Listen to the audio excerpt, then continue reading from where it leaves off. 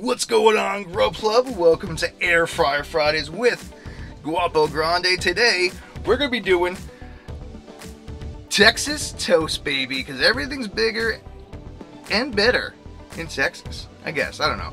Obviously, uh, we're not rich enough to get the Texas Texas toast brand. So we're hollering at the ShopRite brand. Give it up for ShopRite. But I'm assuming it's going to be the same thing.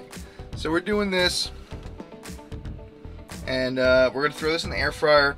Gonna put it on the air fryer on 400 degrees, and I'm, I'm gonna do it for about three and a half minutes, and then check it from there, and uh, I'll let you know how it goes.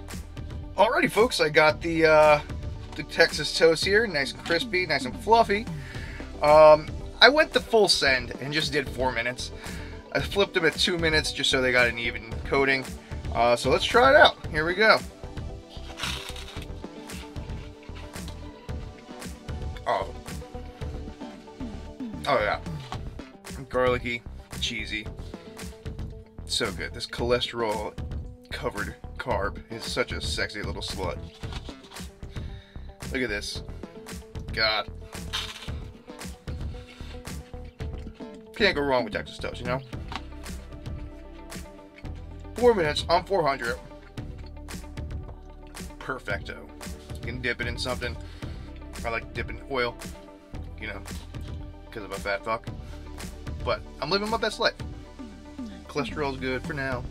Blood pressure's good for now.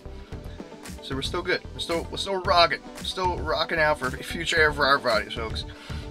Alright guys, that's all for this week. Don't forget to like and subscribe. And always remember, live grande and be guapo.